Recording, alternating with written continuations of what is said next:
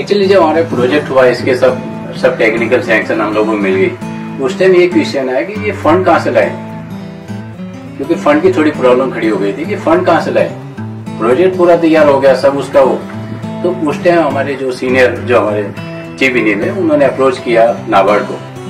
नाबार्ड तब सामने से आए कि हम लोग फंडिंग करेंगे, आप लोग ये प्रोजेक्ट करिए। इस तरह से ये प्रोजेक्ट नाबार्ड की हेल्प से ही पूरा हुआ है।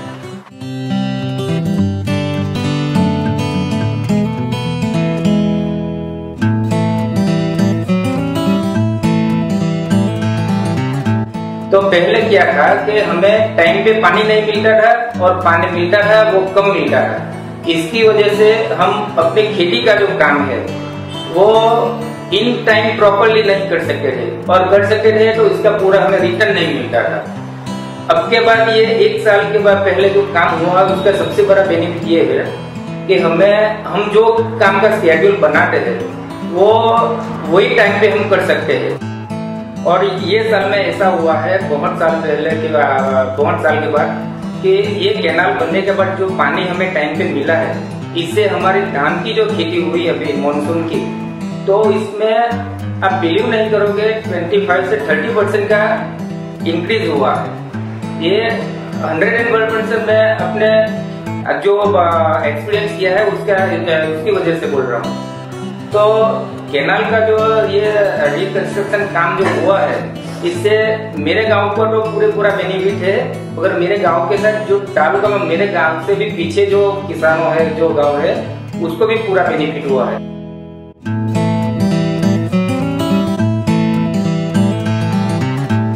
અમારા ગામની અંદર પહેલાં ઇરિગેશન નહોતું તે વખતે અમારી ખેતી વરસાદ આધારિત હતી અને હવે જે અમારી ખેતી છે જે ઇરિગેશન આવવાને કારણે પિયત મંત્રી બનવાને કારણે અને નાબાર્ડ દ્વારા જે સ્કીમ હેઠળ અમને જે આ નહેરોનું, કેનાલનું રિપેરિંગ થયું છે, એને કારણે અમને પાણી ખૂબ સરળતાથી પ્રાપ્ત થઈ રહ્યું છે.